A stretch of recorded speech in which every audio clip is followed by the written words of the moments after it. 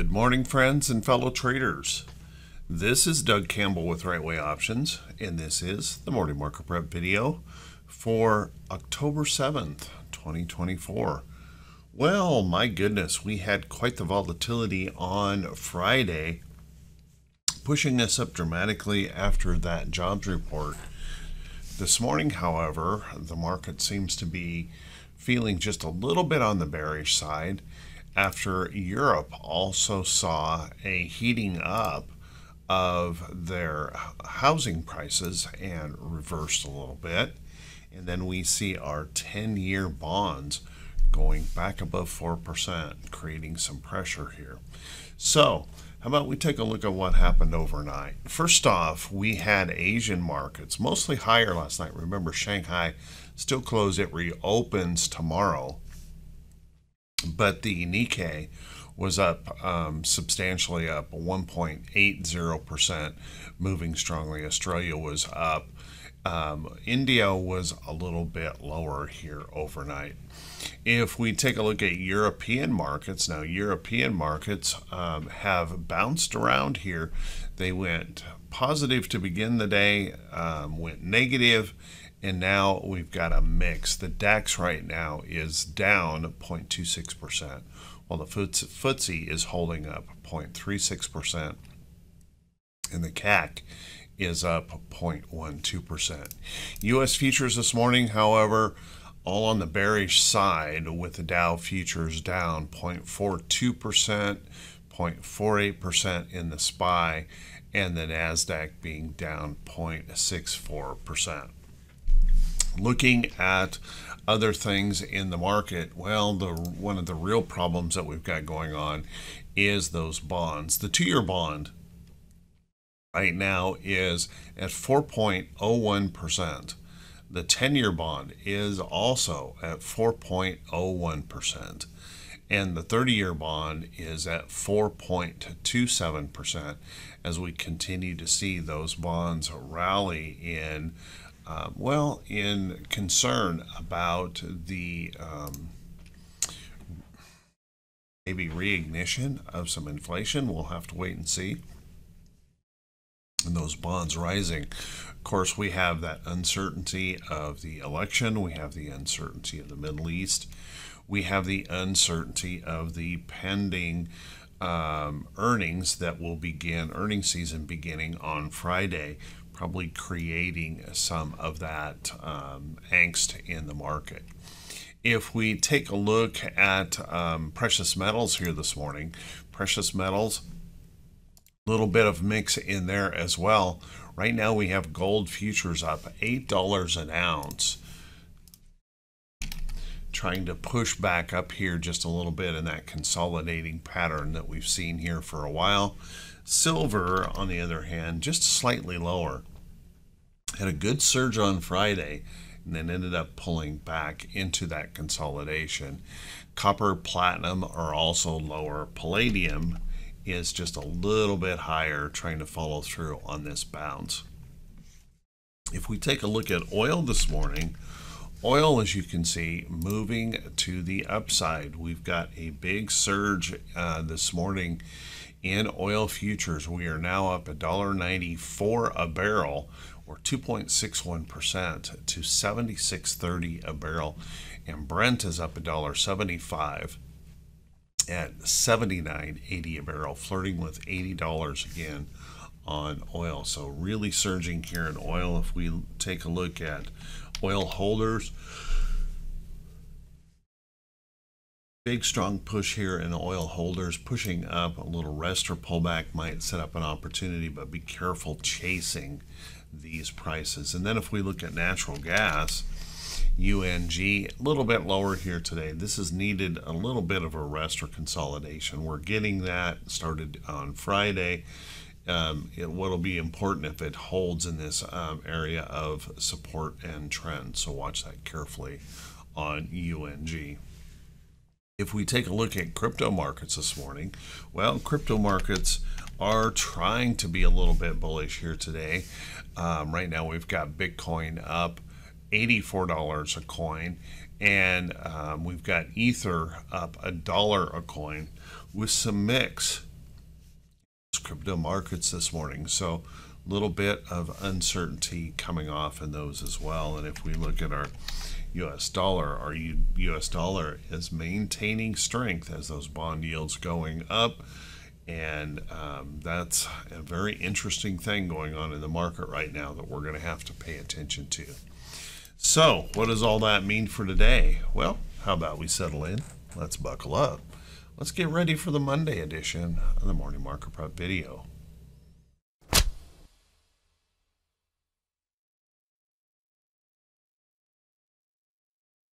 Good morning once again, everyone, and thank you so much for being here. I very much appreciate it. Let's take a look at these charts and see if we can figure out how we might want to approach the market for today. Remembering that we want to look at these charts for what they are, not for what we want them to be. Try to shake off that bias in these charts as we look through them. Well, first off, one of the things that is certainly still prevalent, and the thing that I talked about it's been now over two weeks ago when I put out that first video saying, be careful, y'all. We could go into a bit of a consolidation. And my goodness, I had no idea it would be this long and this volatile in this consolidation. But we are still locked in that range. Although um, we did uh, make a record high close on Friday. Uh, the trick is to get a follow through um, on that, and right now we are not showing that follow through here in the diamonds, continuing to work this range. So if the bulls can find inspiration, we can certainly see where those sellers show up, and we'll need to push through that area up here to run up and maybe attack that all-time high print and then we've got blue sky above if those bulls are going to be inspired. If the Bears, however, continue with the inspiration that they're showing this morning, well, I would suggest a pushback down maybe to test the support would be the area that we'd be looking. And then if we were to break that support coming on down to this area, and I don't think that would cause any major problems if it did, it would be if we break below there where I think we would really raise some fear one thing you'll want to notice, these two trends that I have in here, we're sliding past those trends here at the moment. So there is that uncertainty, and, and, and, unfortunately, that uncertainty is going to continue probably right up into Friday when we get the beginning of earnings and the big bank reports. Let's take a look at our SPY. Now, SPY doing the same consolidating move little bit more volatility in it in range, but same in that consolidating move here in the market. If the bulls can find inspiration, of course, breaking through here would be pretty critical. And of course, that would get uh, some all time highs in the SPY if they could make that happen. If the Bears continue this morning to find um, that ability to push, I would say a push back down to test the lower side of that range wouldn't be out of the question. Remember, we've got the trends in here to be paying attention to. And if we push down in there, probably no worries or no concerns. Pushing beyond that point, however, might start to raise a little concern if we test this area price support right here and if that were to fail, coming on down here would likely raise um, quite a bit of concern, I think, if we start to fail in that area of the market. Now, if we take a look at our QQQ, our NASDAQ still locked in this range, and it again has had even more volatility in it, really surging around here quite a bit and we'll want to be watching that pretty closely because if the bulls find inspiration the first thing they need to do is, we've got through this little area right here is to press on up see if we can test that resistance there in the chart. If we can break through that then we're going to push on up and we'll probably start looking at these levels up in here to see if we can break through to all-time highs. But if those bears, if those bears um, continue to push today, I would suggest a pushback, maybe to test a little support right down in here. First Beyond that point, we would come down probably to the lower side of that range that we've been trading in. And then, of course, you can see we've got this upside trend in here. We could still hold that upside trend and push even a little bit lower into this support area of the chart. So watch carefully there. It would be a break of this area that would likely raise some concern and raise a little fear in the market. So keep an eye on that. And our IWM, well, our IWM range has been more of a slide. As you can see, that range stuck right in here. We've just been sliding and sliding and sliding. Um, we did break the support once, but popped right back up into there. So if the bulls can continue to find inspiration here today to the upside, well, I'm going to suggest right up in here would be the test area. See if we can push up in there. And if we can push through that area, then I'm going to suggest we're up here testing the top side of that range up in here someplace to see if we can pop on through and then of course up in there would be very very bullish for that move. If we take a look at the bearish side of things if those bears were to really get going breaking this support is something we'd want to watch and then that possibility that we could push on down and retest this low in the chart and then progress on through. If you'll notice right through here we have had this little tiny bit of support area and then there's a potential gap that could be filled. Pushing back down into there would bring us back to this kind of a flat upside trend in here and we might catch some support in there. Failing below there of course would raise some concern. So we'll want to be keeping a pretty close eye on price action this week. If we take a look at our VIX well, our VIX eased up just a little bit on Friday. We backed off here just a little bit from that rally up in the market. Unfortunately, not enough to break back down below those little areas of price support in the chart. You'll want to notice we've broken through this downtrend in here and the the selling that we have this morning could pick this back up. What we don't want to see in here is on a selling wave, this is if you're a bull, um, what you don't want to see is you don't want to see this consolidating area in here actually end up turning to the upside and becoming a higher low in the VIX. That's where that fear could come in and we might run up here and start testing these areas up here in the low 20s. Beyond that point, well, you all know it gets pretty wild if the market goes beyond that point. Now, if the bulls can find uh, continue to find that inspiration, maybe continued resting consolidation in here, or maybe even a push back down to break this trend, and we can start coming back and testing these levels here in the chart. If those bulls can find inspiration here today to push, to the upside. If we take a look at our uh, T2122, our T2122 indicator, well, doggone it, we pushed up here quite a ways on Friday, relieving some of that sold pressure, selling pressure. So if the bulls can find inspiration, well, we'll likely see a push up in here to see if we can come back up here into this bearish reversal zone. However, the selling that we have this morning is likely going to turn this lower. Maybe we'll be following along this downtrend here, turn this lower, and that means we have a pretty good opportunity for a downside move if those bears were to really get active. So far, they haven't been able to find the momentum in the market, but something to watch. Now, if we look at our T2108 percentage of stocks above the 40 day, had a nice little rally back up there on Friday, but unfortunately, just really wasn't enough to come back up and break back through that resistance in the chart. So the selling this morning could turn this lower in here and it'd be just a little bit of a concern. But if those bulls can come back around sometime during the day, pushing back up through here, then there may be that opportunity. We're back up here testing these resistance levels. If the bears were to continue that push, well, as you can see, there is some support areas back in here. Maybe we can catch on some of these support areas in here and hold in that T2108. Where fear will likely start to creep up is if we take this 50% area and go below that um, once we start having as more stocks moving below their 40 day than going above, well, sentiment kind of shifts a little bit. We'll want to watch that closely if that were to occur. Our uh, T2107 actually did a pretty good job on Friday, pushing back up here. Unfortunately, we still have this downtrend in here that we're dealing with.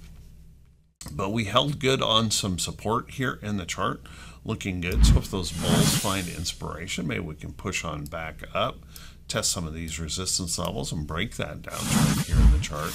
If the bears, however, find inspiration, then pushing back down and breaking below here might raise a little bit of worry, but probably not too much unless we were to break on down below 50%. So we've got a long ways to go before that occurs.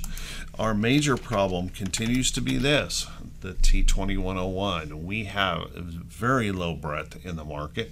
Remember, we're in full blackout for um, corporate buyback activity, which is such a big part of the volume of the market nowadays. And you can see just kind of resting in here. And what's interesting is that rally on Friday, we didn't see any breadth following through um, to support that move. So watch that watch that carefully.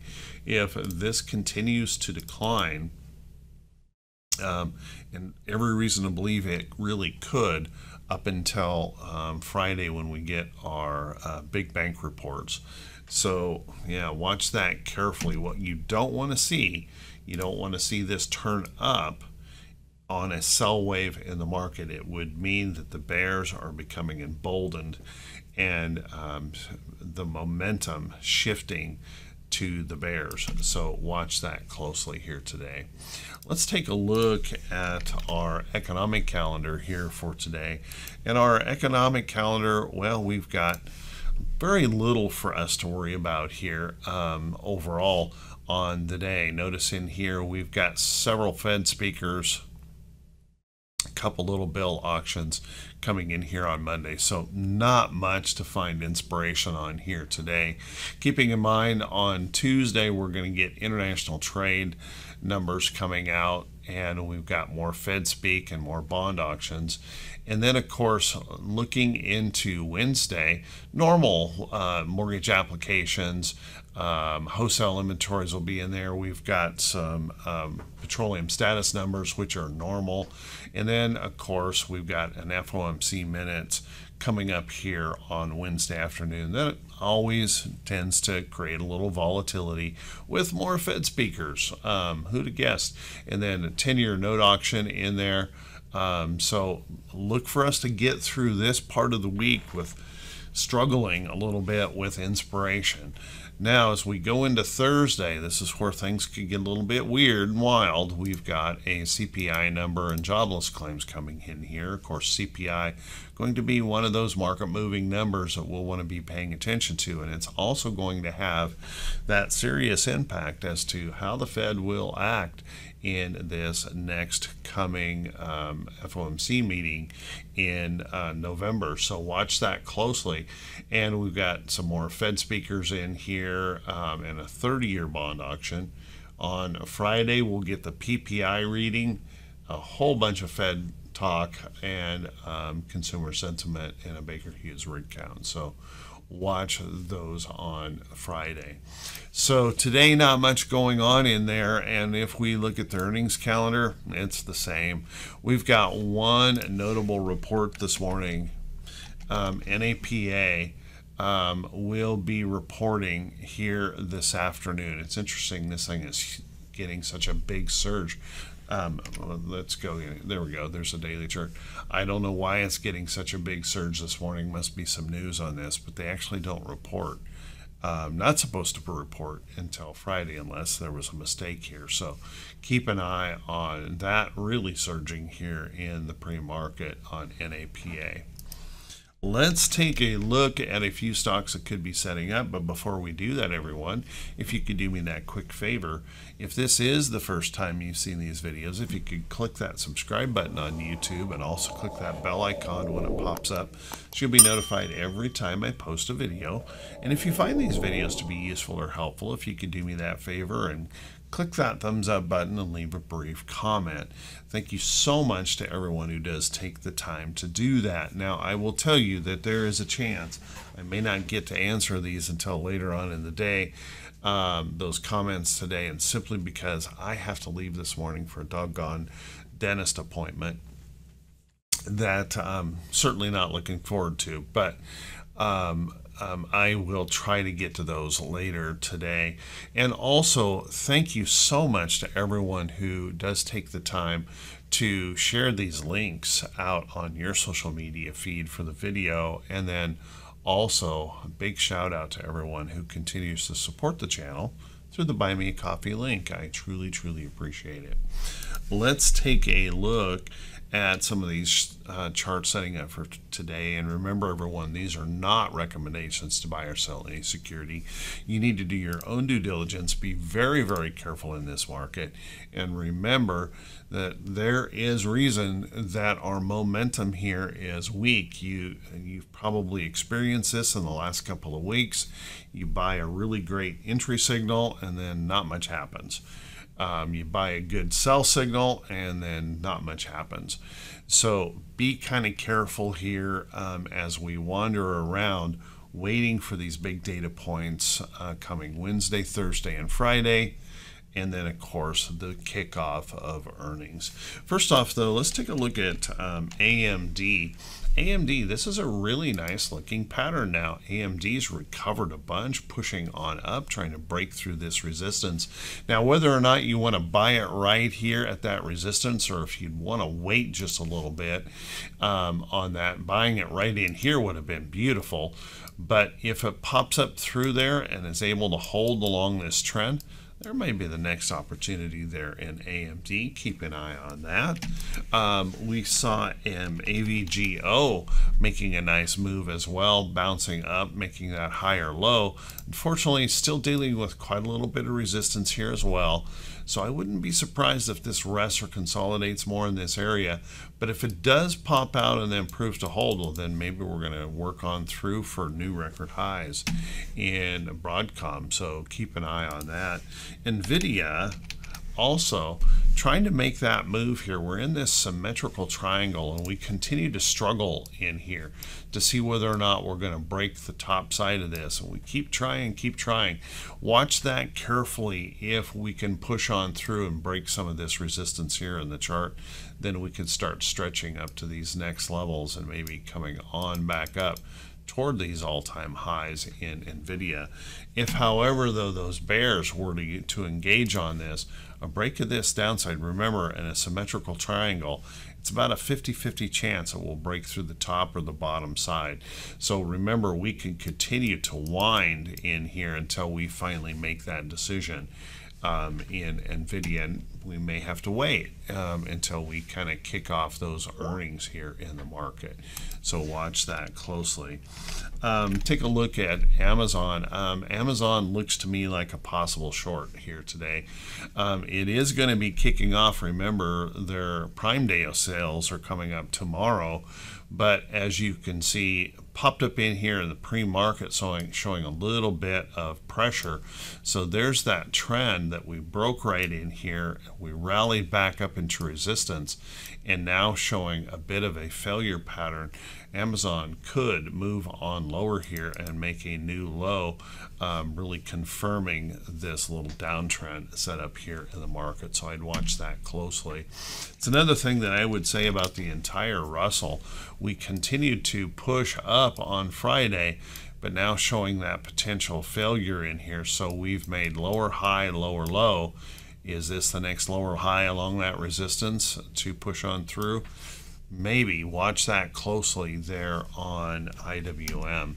Let's take a look at a, um, things in a couple different areas. First off, when we look at the dollar showing this much, much strength, we wouldn't normally see be, uh, be seeing strength in oil, gas, gold, any of those kind of things. But it is interesting as the dollar continues to run up, there is so much uncertainty in the market that clearly gold is looking like a very bullish pattern. This resting consolidation in here, I would watch that carefully. A break of this area up here, all-time highs in gold, are certainly possible with the fear um, that is running around the market, all that uncertainty. So watch that closely in here. If gold were to get moving, silver, not nearly as nice a, a pattern. You can see that silver tried to break out of this major resistance here in the chart faded it back here. We'll want to watch that carefully. We still have that potential. We could hold this um, upside trend in here but it's also possible that we could flatten this out coming all the way back into this trend or consolidating into that trend, trying to build enough energy to actually pop through that area in the chart on silver. But boy, when we take a look at energy, energy surging with what's going on in the Middle East, concerns there, even though that dollar is strengthening, we are seeing quite a run up here in oil. Now, that being said, as we push back up here into this resistance area of the chart, you cannot rule out the possibility that this resistance will do its job and we'll see that relief or pullback here could come back into some support, could consolidate out here. If it pushes on through, however, pushes on through, then we'd look for that rest to hold that support area for the next upside move. So keep an eye on some of those stocks, and there are quite a few to be uh, paying attention to. Let's take a look at um, APLD. APLD is something I put an alert on, but boy, it, it really fell apart there on Friday trying to hang in there. I was watching this really big support area after breaking through. Fading back, I still think it's something to watch. Keep an eye on that.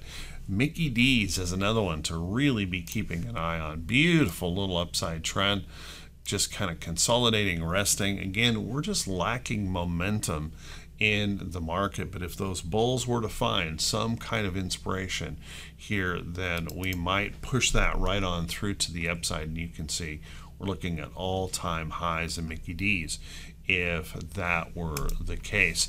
Take a look at DoorDash, another very nice resting consolidation coming back into trend. The sellers don't want to sell.